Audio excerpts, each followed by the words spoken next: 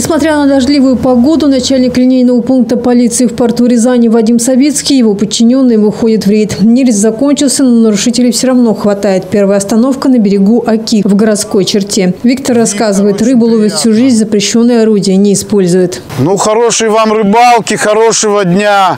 Видим добропорядочный рыбак.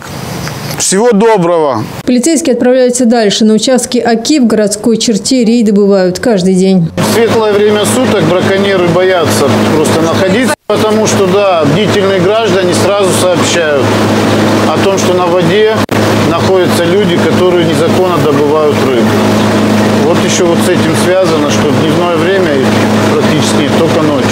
Речная полиция контролирует 479 километров водных объектов в регионе от Московской до Владимирской областей. Есть участки, где чаще всего находят нарушителей. Им особое внимание. Спасский район, Спасский затон, Дядьковский затон в Рязанском районе.